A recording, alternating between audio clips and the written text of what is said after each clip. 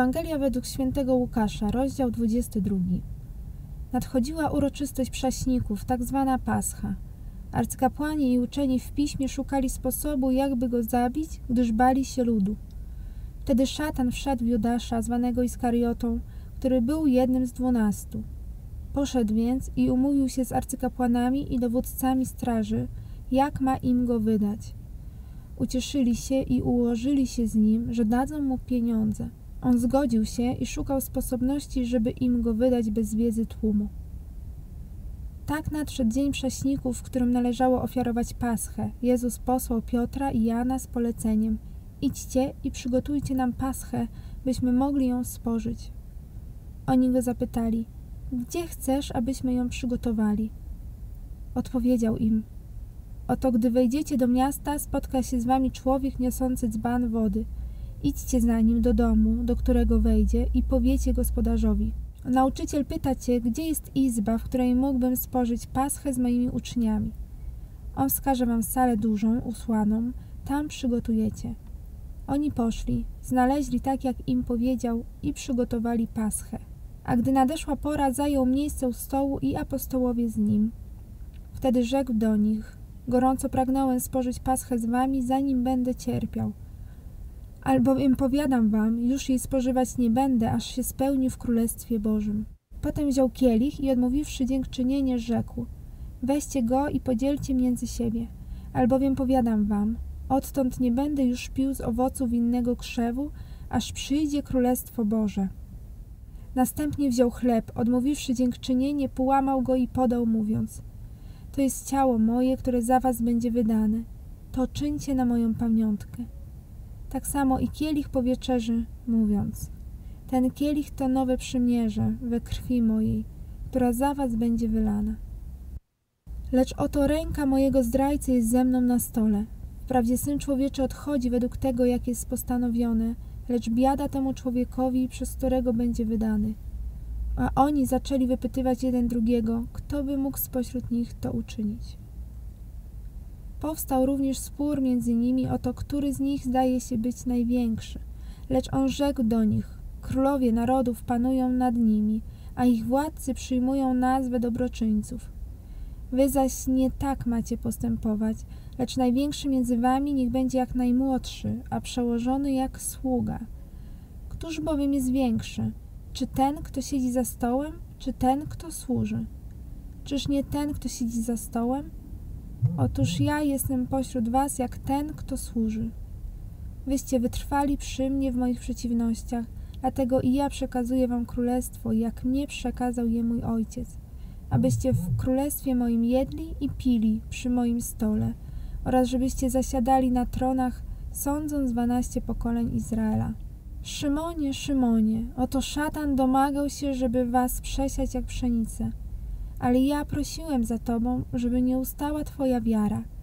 Ty ze swej strony utwierdzaj Twoich braci. On zaś rzekł, Panie, z Tobą gotów jestem iść nawet do więzienia i na śmierć. Lecz Jezus odrzekł, powiadam Ci, Piotrze, nie zapije dziś kogut, a Ty trzy razy wyprzesz się tego, że mnie znasz. I rzekł do nich, czy brak wam było czego, kiedy was posyłałem bez trzosa, bez torby i bez sandałów?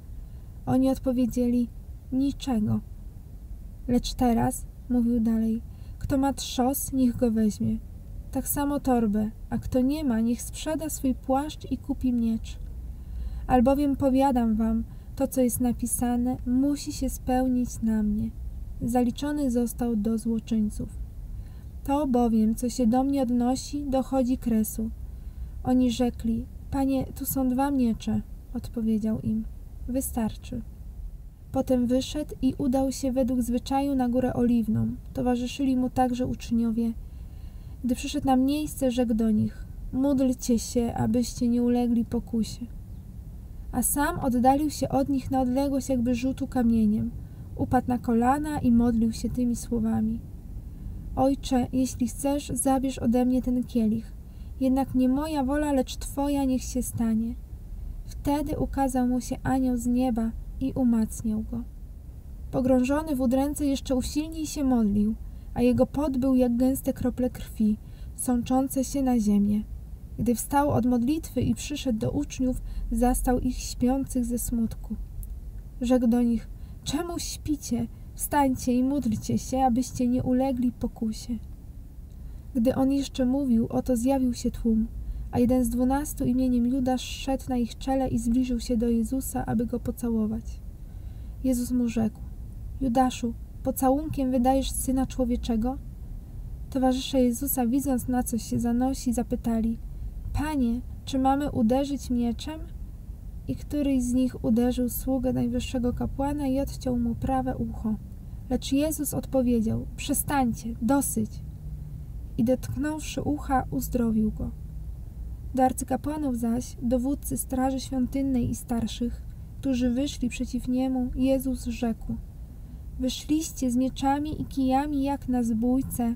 Gdy codziennie bywałem u was w świątyni, nie podnosiliście rąk na mnie, lecz to jest wasza godzina i panowanie ciemności. Schwycili go więc, poprowadzili i zawiedli do domu najwyższego kapłana. A Piotr szedł z daleka. Gdy rozniecili ogień na środku dziedzińca i zasiedli w koło, Piotr usiadł także między nimi. A jakaś służąca, zobaczywszy go siedzącego przy ogniu, przyjrzała mu się uważnie i rzekła: I ten był razem z nim. Lecz on zaprzeczył temu, mówiąc: Nie znam go, kobieto. Po chwili zobaczył go ktoś inny i rzekł: Ty jesteś jednym z nich. Piotr odrzekł: Człowieku, nie jestem. Po upływie prawie godziny jeszcze ktoś inny począł zawzięcie twierdzić: Na pewno i ten był razem z nim. Jest przecież Galilejczykiem. Piotr zaś rzekł: Człowieku, nie wiem, co mówisz. I w tej chwili, gdy on jeszcze mówił, kogut zapiał. A pan obrócił się i spojrzał na Piotra. Wspomniał Piotr na słowa pana, jak mu powiedział: Dziś, zanim kogut zapieje, trzy razy się nie wyprzesz. Wyszedł na zewnątrz i gorzko zapłakał. Tymczasem ludzie, którzy pilnowali Jezusa, naigrywali się z niego i bili go. Zasłaniali mu oczy i pytali: Prorokuj, kto cię uderzył? Wiele też innych obelg miotali przeciw niemu. Skoro dzień nastał, zebrała się starszyzna ludu, arcykapłani i uczeni w piśmie i kazali przyprowadzić go przed swoją radę. Rzekli: Jeśli ty jesteś Mesjasz, powiedz nam. On im odrzekł: Jeśli wam powiem, nie uwierzycie mi, i jeśli was zapytam, nie dacie mi odpowiedzi. Lecz odtąd syn człowieczy siedzieć będzie po prawej stronie wszechmocy Bożej. Zawołali wszyscy: Więc ty jesteś synem Bożym? Odpowiedział im: Tak, jestem nim. A oni zawołali: Na co nam jeszcze potrzeba świadectwa? Sami przecież słyszeliśmy z ust jego.